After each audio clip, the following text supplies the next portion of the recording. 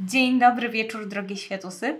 Ja jestem Sara, dzisiaj bez Mai, a to jest literatura na czas słuszny, albo słuszna literatura.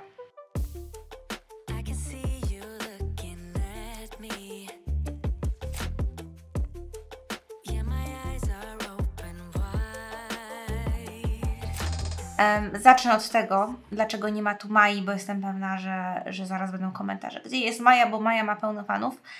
Otóż, e, w dniu, w którym nagrywam ten odcinek, to jest niedziela, e, my w piątek, przed tą niedzielą, poszłyśmy do biblioteki i wypożyczyłyśmy nowe książki do czytania. I Maja ma swoją książkę do czytania, ale przy tych wymagających lekcjach w trzeciej klasie, a przede wszystkim przy zabawie, przecież którą dzieci muszą mieć, no to jeszcze swojej książki nie przeczytała, więc jej dzisiaj nie ma. I Maja będzie się jak najbardziej pojawiać, oczywiście, ale są czasem też takie książki, które wolałabym omówić bez niej. Na przykład y, niedługo będę miała do omówienia książkę na temat rodzicielstwa, więc tutaj nie będę mogła przy niej zdradzić pewnych wskazówek, lifehacków, żeby potem nie wykorzystała ich przeciwko mnie. A dzisiaj mamy książkę, która jest, y, miała premierę niedawno, bo to jest literatura od Pauliny Mikoły z kanału Mówiąc Inaczej. I w tym momencie jestem przerażona, bo jeśli przypadkiem kiedyś ta recenzja, wideo recenzja e, trafi do Pauliny, to boję się, że zaraz powiem coś, czego nie powinnam powiedzieć w nieodpowiedni sposób, więc y, w razie czego proszę o wyrozumiałość. Książkę tę mi kupił Edwin w prezencie, ponieważ y, mój mąż mnie zna i wie, że jak chce mi kupić prezent, to najlepiej kupić mi książkę. No i jak tylko zobaczył Pauliny, że, że jest przed, przedsprzedaż literatury, to mi ją zaraz zamówił i właśnie w tym tygodniu wpadła w moje, w moje łapki. Em, to jest książka o książce i jak Edwin obserwował mnie, jak ją czytałam, to mówił, tylko ty się możesz śmiać, czytając książkę o książkach.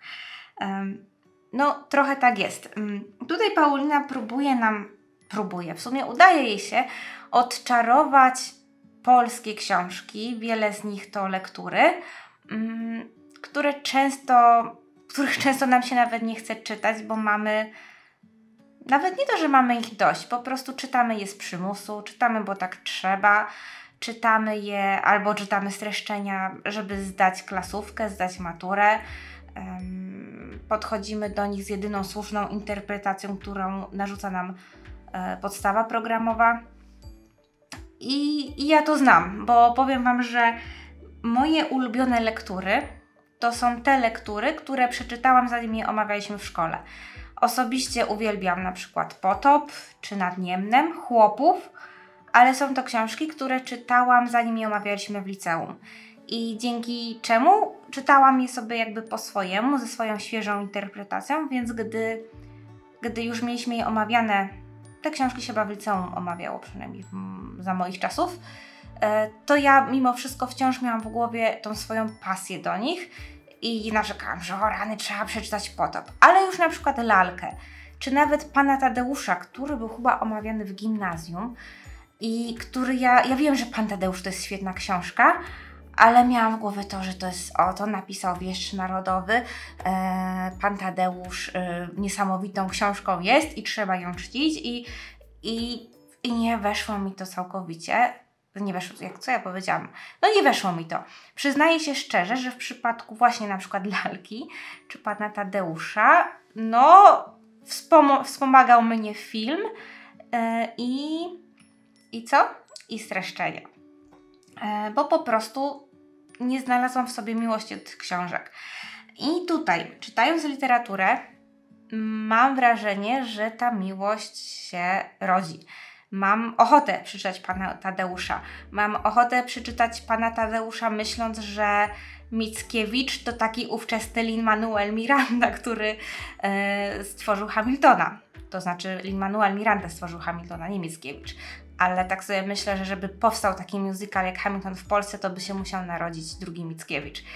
I, I czasem sobie myślę, że kiedyś coś takiego niesamowitego powstanie i ktoś stworzy taki musical na przykład o Polsce odzyskującej niepodległość i to by było niesamowite. Em, co jeszcze? Jest tu dużo książek, em, których nie omawialiśmy, bo na przykład nasz nauczyciel e, ich nie, nie uznał, że, że będziemy je omawiać, bo lektury też wybiera się w szkole. I, i autorów, którzy wy pewnie znacie, na przykład Naukowska, mm, Zapolska, ale mnie one jakoś ominęły, jakoś nie, nie trafiłam na nie w swojej edukacji polonistycznej i sobie myślę, hej, chętnie bym to przeczytała. Poza takimi klasykami są też książki nowsze. E, Są wiersze, są wiersze em, internetowe, nie wiem czy to dobrze powiedziałam, ale takie w sumie pu- publikowane na fanpage'ach.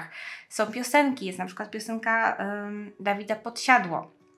Co ciekawe, tutaj mamy też przy każdym omówieniu e, możliwość zaznaczenia, czy przeczytaliśmy tę książkę, więc jak ktoś jest takim freakiem, który sobie wszystko planuje i, i zaznacza, a ja tak mam, ja mam obsesję z kalendarzami i zaznaczaniem krateczek, to jest to świetna opcja, bo ja już czuję takie, muszę wszystkie przeczytać, bo muszę mieć wszystko zaznaczone. I fajne jest też to, mm, że Paulina stara się tutaj, opowiadając o tych książkach, zawrzeć jakieś współczesne informacje. Na przykład nawiązuje do jakiegoś filmu, do jakiegoś youtubera, do, do piosenki, którą znamy i lubimy. Ważna rzecz, mm, bo ja będąc w liceum dostałam taką grubą książkę ze streszczeniami lektur do liceum. Sam, samo omówienie potopu chyba 30 stron zajmowało, więc to było naprawdę szczegółowe. Em, to nie jest streszczenie lektur. Nie, nie traktujmy tego jak te wszystkie książeczki z wydawnictwa Grek, które czytamy szybko przed, przed napisaniem sprawdzianu. Nie, to jest coś, co ma nas przekonać do jakiejś lektury, przekonać do książki, żebyśmy po nią zajrzeli, być może polubili, być może spojrzeli na coś inaczej. Em, I ja ją będę chętnie trzymała na półce, bo myślę, że za jakiś czas, gdy moja Maja e, i druga córka będą trafiały na być może którąś z tych lektur, e, będę mogła im przedstawić inny punkt widzenia i w jakiś sposób zachęcić do przeczytania tej książki. Niekoniecznie by czytały ją w taki sposób, jak to widzi pani nauczycielka od polskiego, bo to jest jedyny słuszny, e, słuszny sposób. Podsumowując, czytało mi się to bardzo lekko i przyjemnie.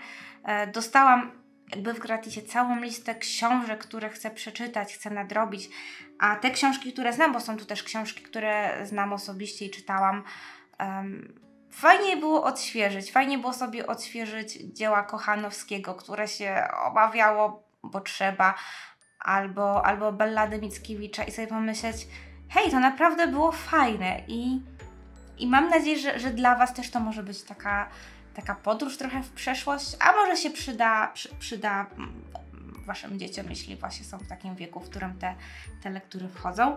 Także literatura, Paulina Mikuła, nowość, wydawnictwo oczywiście Altenberg. E, cieszę się, że mój Edwin mi, mi sprawił taki prezent i polecam, bo, bo fajnie to lekko wchodzi. Przeczytałam chyba w 3 dni i tylko dlatego, że nie miałam więcej czasu, bo czytałam wie, wieczorami.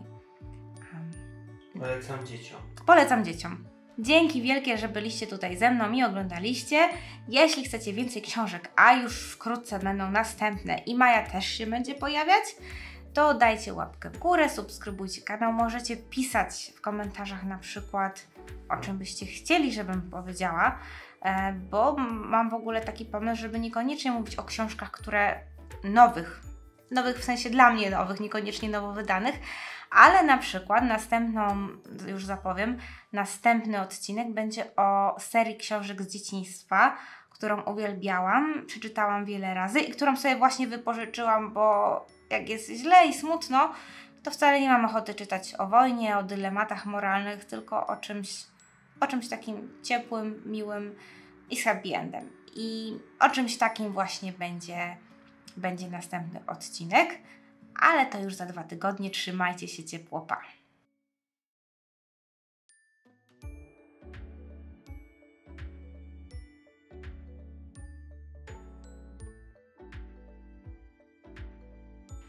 I teraz będzie intro. Oczywiście żartuję sobie. Mm, No, Edwin też może wystąpić do książka coś powie. Edwin też może wystąpić o książkach, coś powie. तरह